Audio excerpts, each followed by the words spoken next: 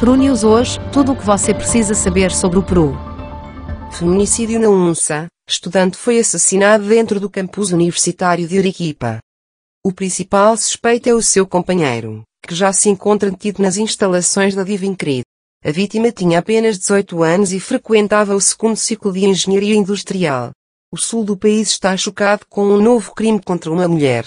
O suposto feminicídio ocorreu na tarde desta sexta-feira, 29 de setembro, dentro de uma das faculdades da Universidade Nacional de São Agostinho de Arequipa, UNSA.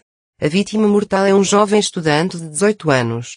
Mediante um esqueleto comunicado, difundido em sua conta oficial de Facebook, La Casa de Estudos Arequipenha confirmou el deceso de la Universitaria, de iniciais APVR, dentro de seu campus, perguntou se se tratava de um novo caso de feminicídio nila causa de a morte. A Universidade Nacional de São Agostinho de Arequipa lamenta o acontecimento ocorrido no campus da nossa instituição de ensino superior, que resultou na perda de um dos nossos alunos à PVR, indicou ENSA. No comunicado, acrescentou, as autoridades da Casa Agostiniana dão todo o apoio à polícia e ao Ministério Público para que o infeliz acontecimento seja investigado e proceda de acordo com a lei.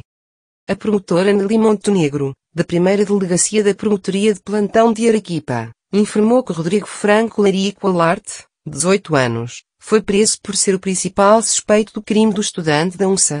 Acontece que ele foi levado para uma cela do Departamento de Investigação Criminal. A representante do Ministério Público explicou ainda que se deslocou ao local para retirar o corpo e frisou que, neste momento, não tinham informações exatas para o poderem apresentar à imprensa. Ainda não sabemos o que aconteceu. Vamos verificar, disse ele na entrada da universidade. Informações preliminares revelaram que o agressor discutia acaloradamente minutos antes de atacar seu suposto companheiro. A briga teria começado porque a estudante queria terminar o relacionamento.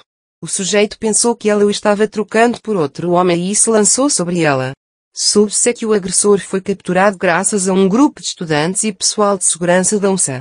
Testemunhas contaram que após esfaquear a menina ele tentou fugir, mas foi preso.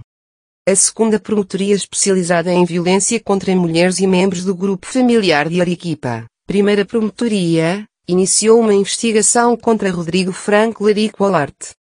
Decidiu-se colher depoimentos do investigado bem como de testemunhas do suposto crime, além da realização de diversos exames, a fim de esclarecer os fatos.